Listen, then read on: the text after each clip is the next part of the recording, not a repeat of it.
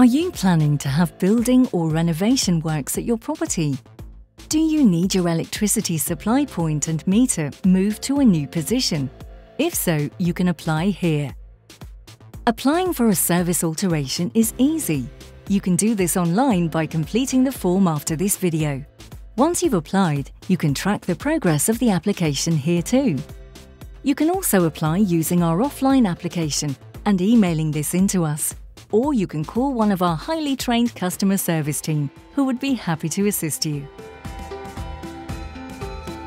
When you submit your application, we ask that you include some extra information.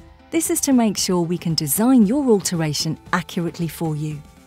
The information we need from you will include your contact details, the address and postcode of the site, the current and proposed position of your supply, the distance it needs to be moved, and whether you have a single or a three-phase connection. Don't worry, we can access this information for you if you are unsure. Once we have this, we will design and send you a quote.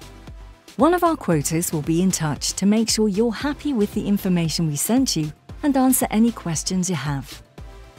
Once you have received, reviewed and are happy with your quotation, there are several ways you can accept and make payment for your connection. You can do this online or over the phone by card or through BACS or cheque.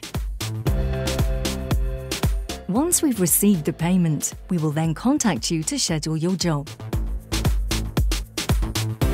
We will check to see if we need to cross any neighbouring land when altering the electricity cable position to your property.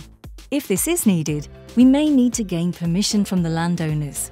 Don't worry though, if this is required, we'll handle this for you.